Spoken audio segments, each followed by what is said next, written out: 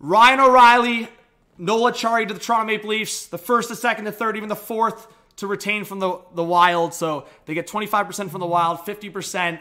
The Leafs create so much space without even giving up roster players here. Obviously, the LTIR. Come. So W or L in the chat for the Leafs. I think Blues fans are going to be extremely happy with this return. They should be at least. I think the Blues Blues fans should be extremely happy. Leafs though, Leafs perspective specifically, W or L. I would I would I would severely disagree with someone if they said L for the Blues, man. This is such a W for the Blues in their perspective. Even with and I'll say this, the Blues have stringed a couple wins together recently. So I'm just thinking like the Blues were kind of on the fence probably and Dubas was just like, "Here, have it. We want O'Reilly now." So, I don't know, man. this this could backfire again, but Dubas is showing he has the balls to do it. And I got to give respects to it, but this is all in now. Dubas is going all in. There's no bullshit now. Dubas is going all in. And yeah, this is kind of a home run swing. I, I personally still will say, I think they still need to make one more significant move. Because to me, Acciari, I love the fit for Acciari on this team. He adds a must needed, like, fourth line scoring with that edge, right? On that fourth line. And I think as I said, to me, my ideal fourth line for the playoffs for the Leafs right now is Kampf, Aston Reese, and Acciari.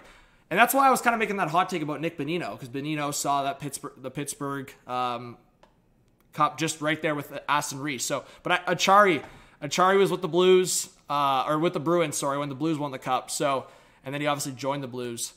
So Acciari and O'Reilly, I, I think these are two good playoff fits. But again, I, I still think they need to go for one more move.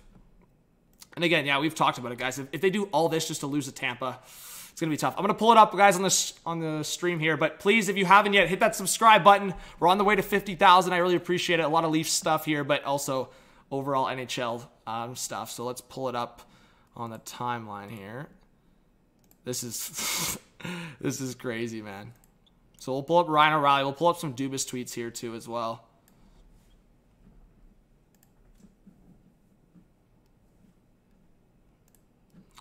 Let's see. Can exit that out?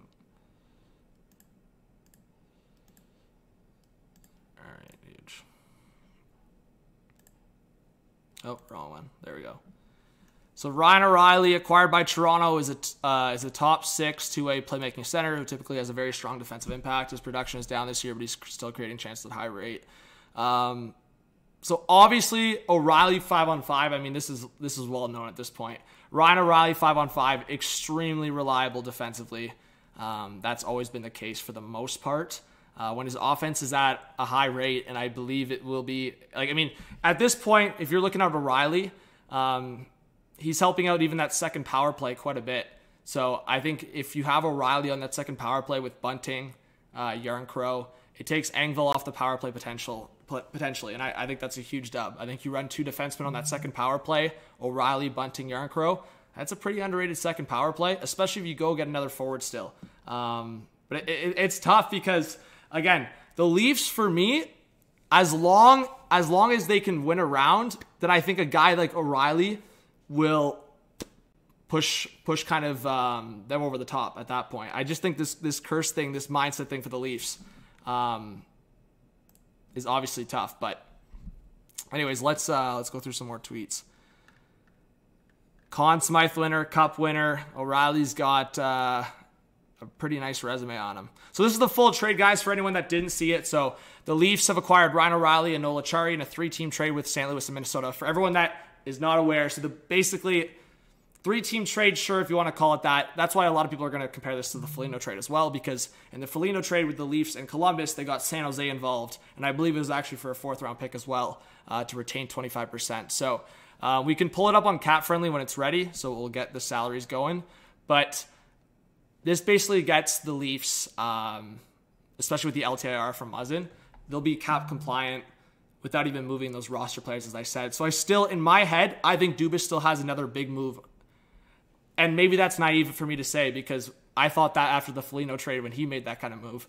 Um, I still think Dubas needs to make one more big move. I, like the contracts of Kerfoot, Engvall, Hall, that contributes to a lot, and it, it can get you a big contract and can get you a big player that even maybe is past this year. So Um, I'm gonna I'm gonna say that again, guys. I really do believe that at the end of the day, this is a W move for what Dubas is trying to do in his last year. But if the Leafs don't go on a serious run here, it's not going to be a win of a trade at all, even if they pass the first round, unless O'Reilly stays past this year. I think the best case scenario where the Leafs don't obviously win a cup this year, uh, but the best case scenario in a realistic sense is the Leafs for me winning a round or two even, and then O'Reilly doing.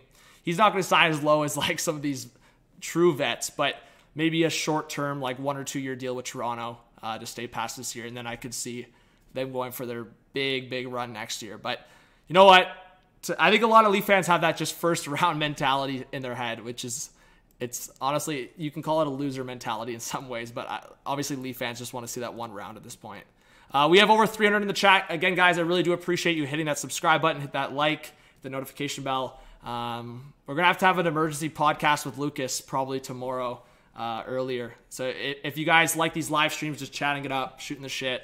Uh, I'm gonna read a bunch of comments and questions in the chat. Sorry, guys, I'm I'm so tripped right now, man. I was so I was like in bed watching a movie, just looking for a nice chill Friday night because we're going out tomorrow night and just Dubas on a Friday night. What a guy.